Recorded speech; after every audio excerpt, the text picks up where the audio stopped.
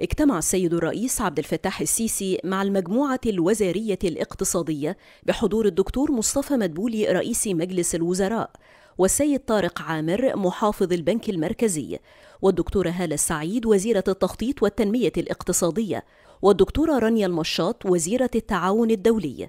والدكتور محمد معيط وزير المالية. والسيد هشام توفيق وزير قطاع الأعمال العام. والسيدة نيفين جامع وزيرة التجارة والصناعة. واللواء محمد أمين مستشار رئيس الجمهورية للشؤون المالية.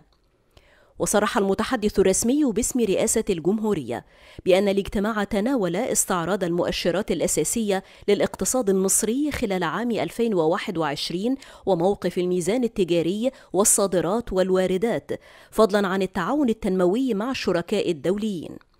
وقد تم في هذا الإطار عرض إحصائيات التجارة الخارجية والميزان التجاري حيث سجلت صادرات الدولة زيادة قدرها 27% لتبلغ حوالي 31 مليار دولار خلال عام 2021 وهو حجم الصادرات الأضخم في تاريخ الاقتصاد المصري.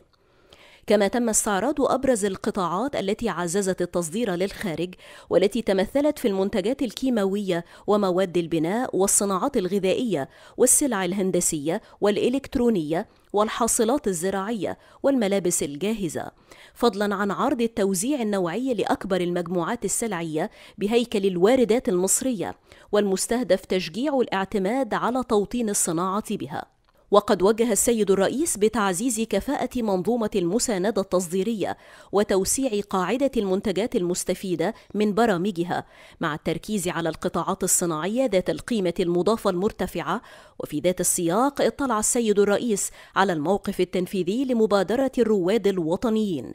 والتي تهدف إلى المساهمة في أحلال الواردات وتعميق المنتج المحلي من خلال الترويج للصادرات المصرية وجذب الاستثمار الأجنبي المباشر. وهي المبادرة التي يتم تنفيذها تحت إشراف البنك المركزي ومن خلال بنك مصر والبنك الأهلي بالتعاون والتنسيق مع وزارة التجارة والصناعة. وفيما يتعلق بالتعاون مع شركاء التنمية على مستوى العالم تم عرض موقف اتفاقيات التمويل التنموي الميسر لدعم الأولويات الوطنية للتنمية حيث بلغ إجمالي حزم التمويل لمختلف قطاعات الدولة في عام 2021 حوالي 10.2 مليار دولار بما في ذلك الإسكان والبيئة والمشروعات الصغيرة والمتوسطة ومتناهية الصغر والنقل والتعليم والطاقة والصحة والزراعة والري.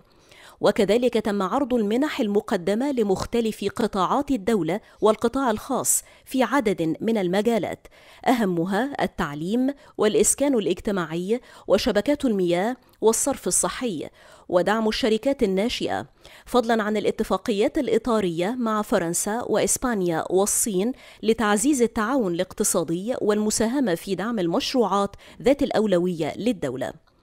وقد وجه السيد الرئيس بتعزيز توافق التمويلات التنموية المختلفة مع الأهداف الوطنية للتنمية المستدامة في مختلف القطاعات في إطار رؤية مصر 2030 فضلا عن التدقيق والمتابعة الشخصية المنتظمة من قبل الوزراء للمشروعات التنموية والتدخل الفوري لتذليل أي تحديات أو معوقات وذلك لضمان تحقيق النتائج المرجوة والاستفادة.